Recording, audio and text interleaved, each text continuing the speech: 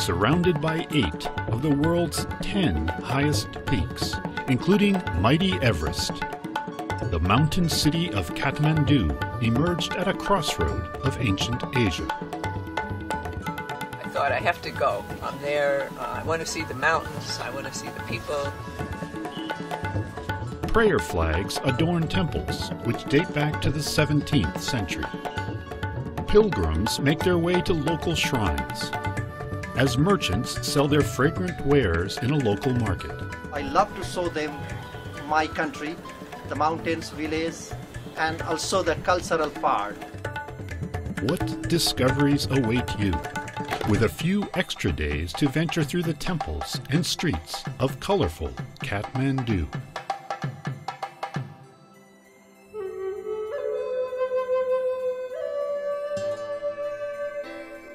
Located at an altitude of 4,265 feet, Kathmandu was once known as Kantipur, or the City of Glory. As Mecca's Kaaba is for Muslim pilgrims, so is the Boudhanath Stupa, the holiest temple in Nepal, for Tibetan Buddhists.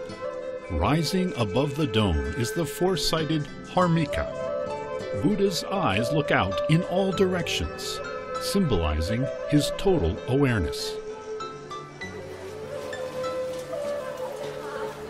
A lot of people, when they come to the temple, to the Buddhist temple, they just spin these prayer wheels, or we have seen the big prayer wheel, they come and they spin these prayer wheels. So these prayer wheels, mostly we see in Buddhist temples. Om Mani Padme Hum. Om Mani Padme Hum.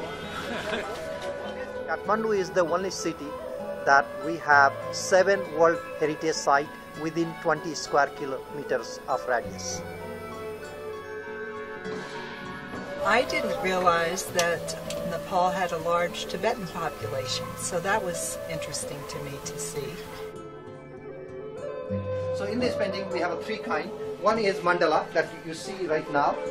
Mandalas like these are a ritual symbol of centeredness, a diagram mapping the universe or cosmos.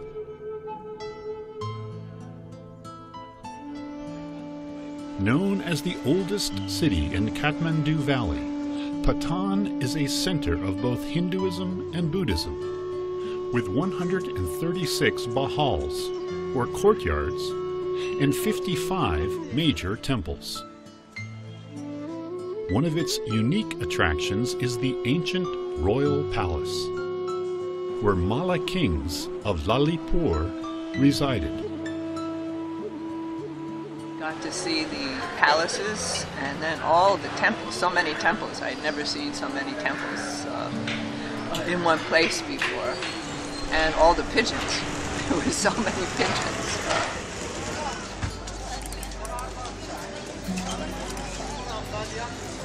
A short rickshaw ride through the narrow streets of Kathmandu carries visitors to the Thamel market. A vibrant hub where merchants sell rare spices and artisans craft woven fabrics and ceramic bowls. we took a wonderful rickshaw ride that was comfortable, uh, going right through the streets. It's, uh, the plate is made out of sal leaf. The travelers, they discover so many things in Nepal, especially the different culture. And I always wanted to come to Kathmandu, and I'm so glad I did. Experience the diversity and the magic of a few extra days in Kathmandu. A mesmerizing spiritual hub nestled at the top of the world. I am from Kathmandu, which is the capital of Nepal. This is a city which is uh, a completely diverse city in terms of uh, many, you know, tribal people living in the in the city. That's why this city is also called as a melting pot.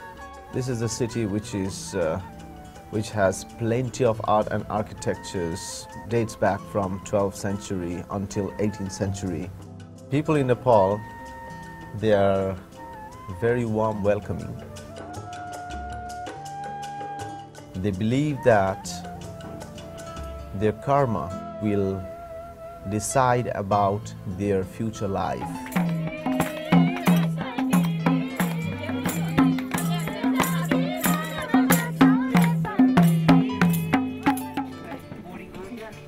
We have a lot of cuisines, but the most popular in Nepal, which is called dal bhat, which means rice and lentil.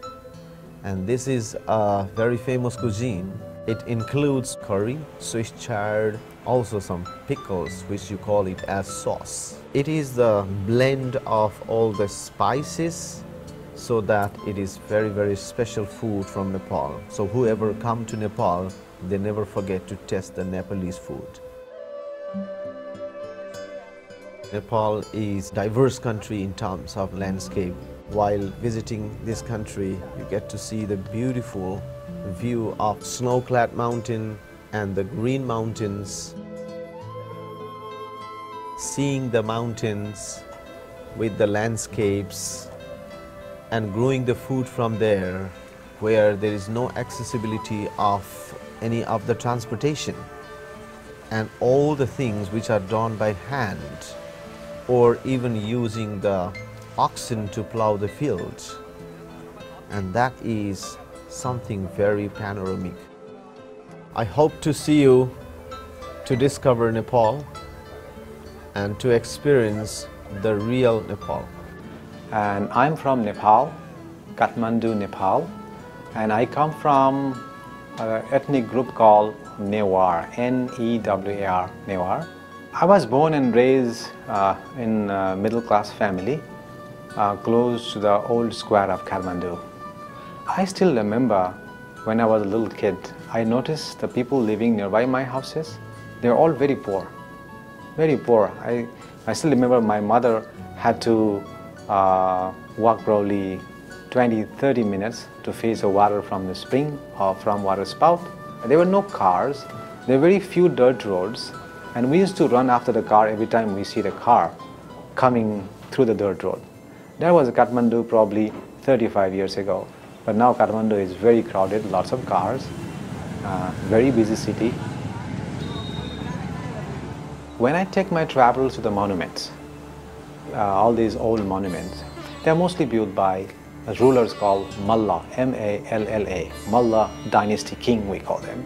Since I belong to same every time I take my travels to the monuments, I belong to those monuments. This is how I connect myself with the monuments or with the travelers. Hiking in the Himalaya is definitely a big highlight. An Annapurna region, the Mount Everest region. Uh, hiking is very difficult. It's not difficult in the sense it's not high altitude hiking. We are not going really high altitude, but uh, lots of up and down and steep walking. But once you get to the lodge from the hike, all your tiredness disappear because you get a magnificent view in front. And on top of that, we meet lots of local people, all the villages. We pass through all these small villages and we stop there, we talk to the travelers and share their experience of living in that area with very limited resources. They have nothing, they have their field, they are working in a field, growing the, all these uh, crops and they are eating all these crops. All they know is to wake up, go to the field, work, farm, you know, and raise these crops and eat. That's all. Very simple life they are leading. I find them very innocent in their life. Very innocent, they are very honest. They don't think too much personal benefit. They always think for entire community. And that's a good thing we get to know when we go.